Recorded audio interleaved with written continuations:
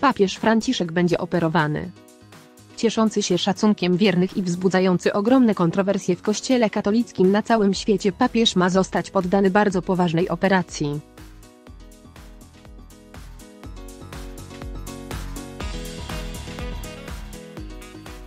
Papież Franciszek jest suwerenem państwa watykańskiego od marca 2013 roku. Przez ten czas udało mu się podzielić wiernych kościoła katolickiego.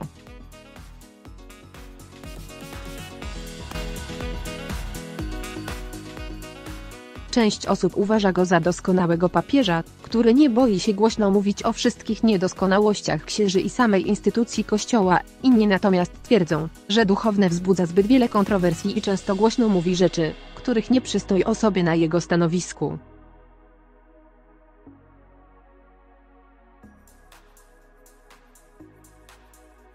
Właśnie jednak pojawiły się szokujące informacje, które poruszyły cały świat. Papież Franciszek ma być poddany poważnej operacji, która jest konieczna, lecz nieść może ze sobą bardzo poważne konsekwencje.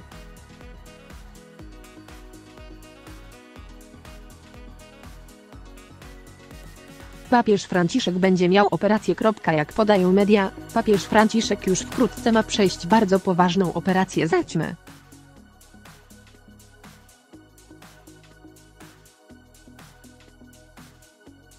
Głowa Kościoła katolickiego sama zapowiedziała publicznie ten nadchodzący, trudny moment podczas spotkania z więźniami w zakładzie karnym Regina Sili na Zatybrzu w Rzymie.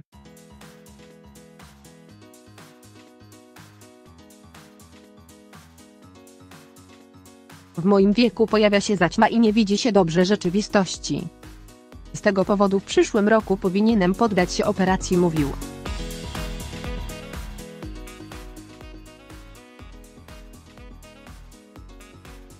Mówi się, że papież Franciszek będzie musiał przejść nie jedną, a dwie operacje, dotknęła go bowiem zaćma dwustronna.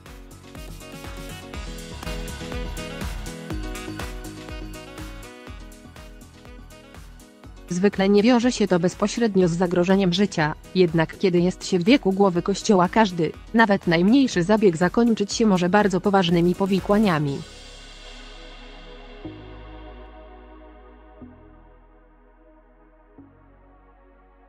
Ich konsekwencje mogą być tragiczne. Papież może całkowicie stracić wzrok.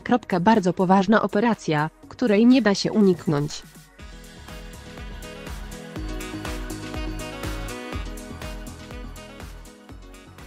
Jak podają media, lekarze najpierw usuną zaciemy z oka bardziej dotkniętego chorobą i poczekają na rozwój sytuacji w drugim oku, jednak prawdopodobnie konieczne będą dwie operacje i w obydwu dojdzie do wszczepienia nowej, sztucznej soczewki.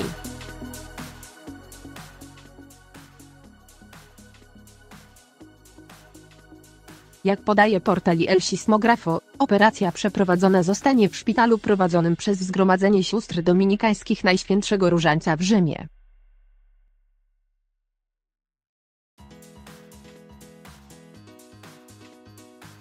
Trzeba dodać również, iż operacja jest konieczna, bez niej bowiem papież Franciszek może całkowicie stracić wzrok i nigdy więcej już nie zobaczyć wiernych.